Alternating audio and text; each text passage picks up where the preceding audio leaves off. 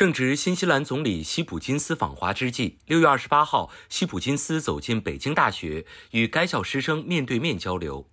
伴随着毛利民族的歌舞表演，活动正式开始。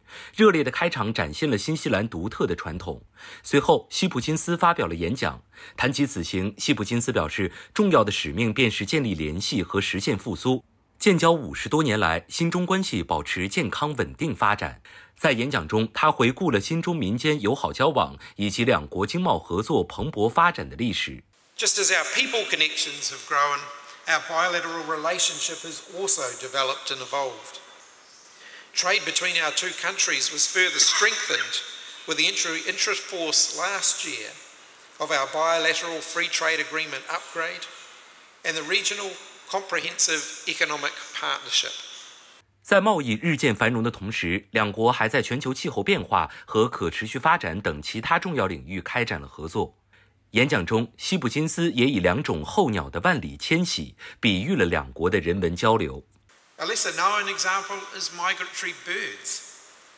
We have joint efforts to protect birds such as godwits and red knots, which migrate from New Zealand to the North Arctic each year, stopping along the coast of North China on the way.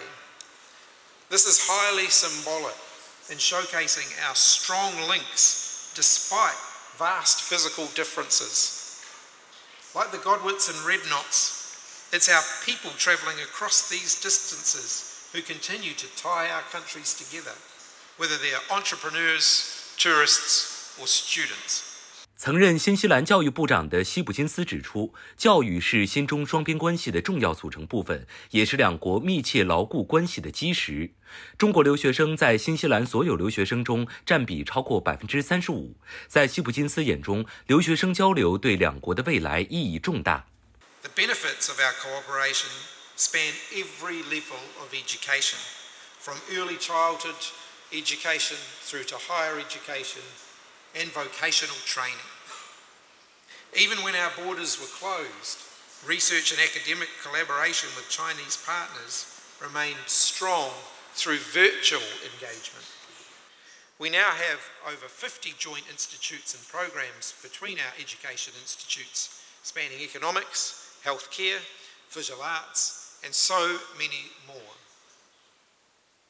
These partnerships are critical channels which offer students greater choice of study and opportunities for our higher education providers to learn from one another.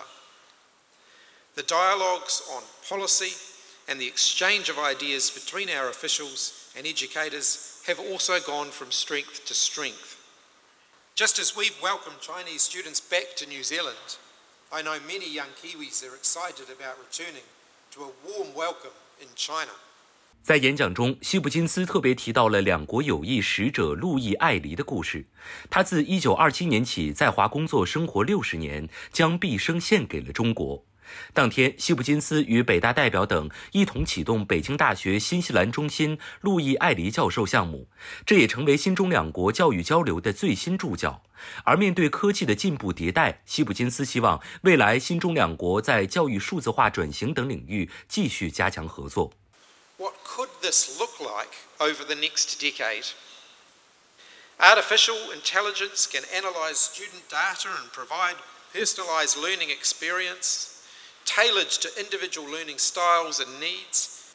Global collaboration among students and educators from different countries will be made easier through artificial intelligence.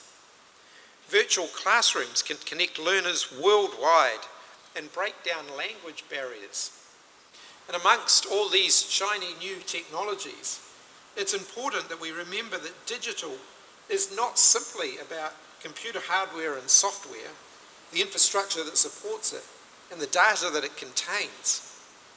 It's also about adapting teaching methodologies and rules and policies to ensure ethical and responsive, responsible use of these technologies.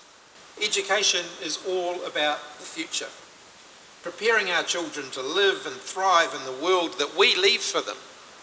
We have a responsibility to prepare future generations for the world that they will face, to improve their understanding of the world, its myriad of cultures and peoples, and the future of our planet. There is a commonly invoked Maori proverb, in New Zealand, which I believe is particularly fitting for today's theme of education and the connection it brings for our countries. He aha te mea nui a te ao, he tangata, he tangata, he tangata. What is the most important thing in the world? It is people. It is people. It is people.